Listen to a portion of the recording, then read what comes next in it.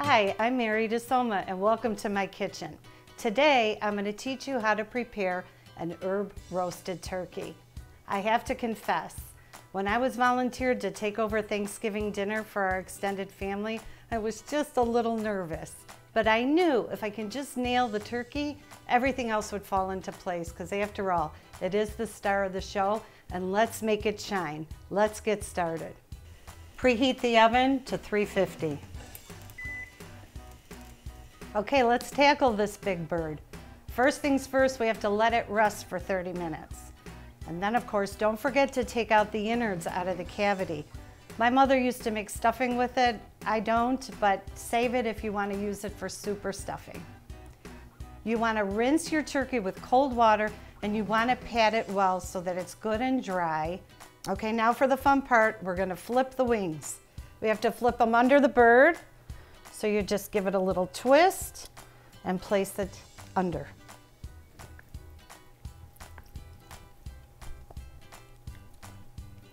There we go. It's a little tricky, but you can do it. Okay, this step is really important. So what I'm gonna do is I'm gonna put my hand in the cavity and we're gonna start to separate the skin so that I'm able to then oil underneath the skin and be able to place some herbs in there too. If you get too rough with it, you can poke a hole through. No big deal, you can always uh, sew it back together. But it's nice to just do it slow and gentle so you don't have to have that extra work.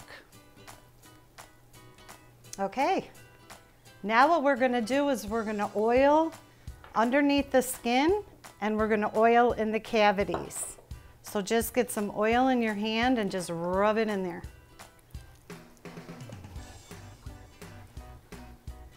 I pour a little oil in the cavity.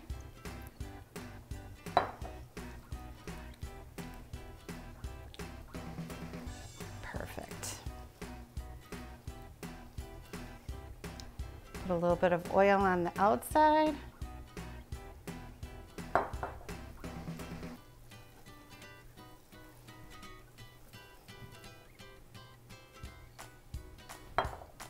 You gotta love up on the turkey.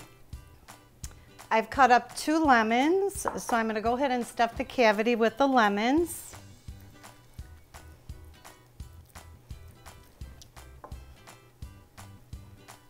This is gonna give us a lot of juice.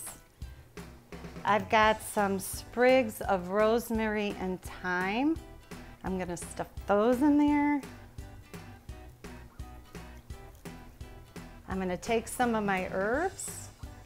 I've got here some loose thyme, loose, loose rosemary, and I'm gonna go ahead and put some of it underneath the skin.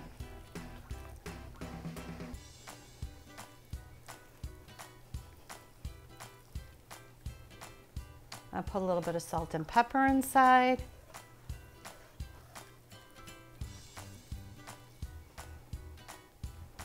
Add a little bit more oil to the outside.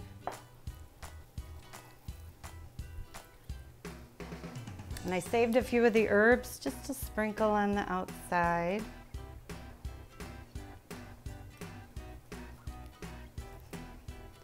A little bit more salt and pepper.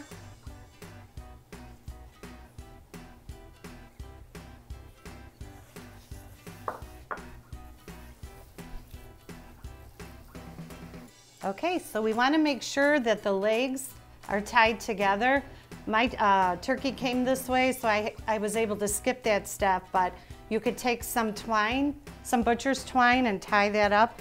And you also wanna make sure that you trim any excess fat that's in the opening. Uh, mine came already trimmed, but sometimes there's a lot of extra hair. You just wanna cut that off with a scissor. Now we have to place our vegetables on the bottom of the pan. So I took my rack out. We've got some quartered onions. Just lay them in there. I've got some slices of carrots, half inch slices, and some celery. You need all this goodness for when it's time to make your gravy.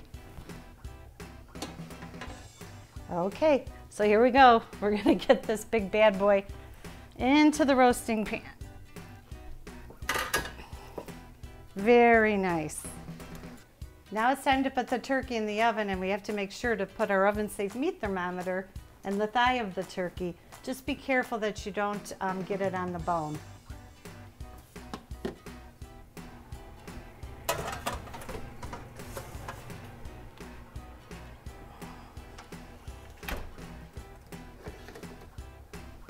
Okay, we'll have to check on the bird in a little bit. All right, let's check this turkey out. Ooh, we got a lot of juice.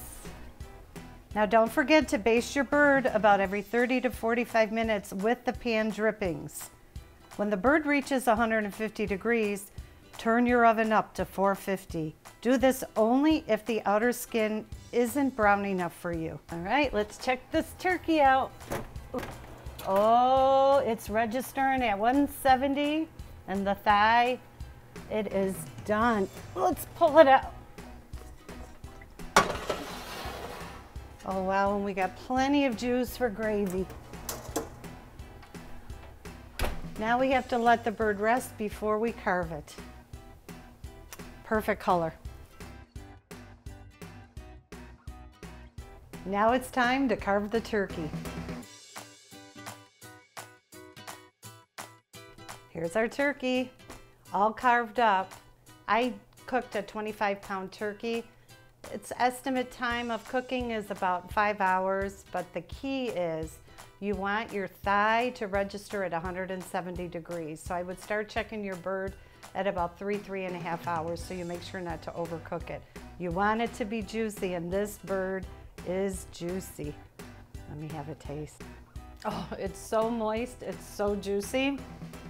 This one, we knocked it out of the park.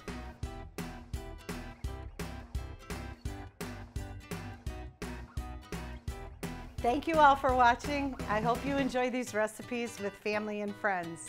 To see the full recipe, see below.